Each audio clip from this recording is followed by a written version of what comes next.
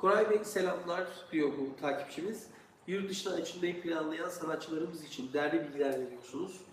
Koray Bey'in yardımcı olduğu, size soru, yardımcı olduğunuz genç sanatçılarımız ya da kişiler oldu mu diye soruyor takipçimiz.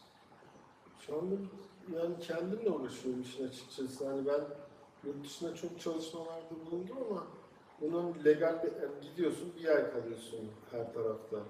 Şimdi işte seni tanıyorduk Allah'tan. İşte buralara getirip hani süreyi uzatabildik. Hani geldin istediğin kadar E çünkü bir şeye bir filme başladıysan süreç alıyor. Öbür türlü hani vizelerle olmuyor. Şimdi böyle bir şey olduğu için ama gençlerle derken yani burada da Türkler var. Biz bir sergide böyle workshop vermiştim. Ee, çok sağlıklı bilgi almak için doğru bir adam değilim ben yani işin açıkçası. Akademideki hocam Ahmet Öner Gezgin dekan oldu. Haftada bir gün gel de, de- çocuklara ders verdi istediğin konuda. Ee, yani bir konuda e, iş bilir olmak ve bir şey öğretebilmek bir sorumluluk gerektiriyor. Yani e, öğretmenlik mesela çok acayip bir kurum. E, o yüzden de kendimi nedense oraya koyamadım. Yani öyle bir duruş olarak e, şey yapamadım. Ama gençlere heyecanlanıyorum. Yani burada mesela bir şey açılabilsek, burada çok, fotoğrafa meraklı çok adam var Amerika'da.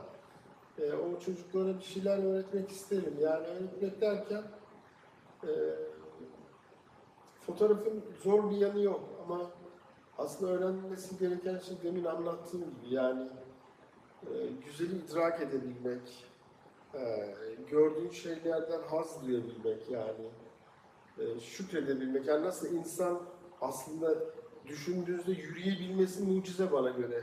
Yani ayak tabanlarını ve formunu düşündüğün zaman kesinlikle elleriyle gitmesi gereken bir canlıyken ayakta duruyor abi o kadar eklemle. imkansız ya onun öyle durabilmesi ve yürüyor koşuyor. Yani ve ben mesela bunun halen sürekli insan çekiyorum. Her şekilde şaşırıyorum yani bu insan bu kadar kırılan, dökülen, ezilen, bükülen bir canlı ayakta duruyor abi. Şöyle do- dokunduğu yer ve e, bence yani önümüzde duran şeyleri anlayalım. Bunları algıladığınız zaman e, o insan aslında üçgenlerden oluştuğunu anlıyorsun.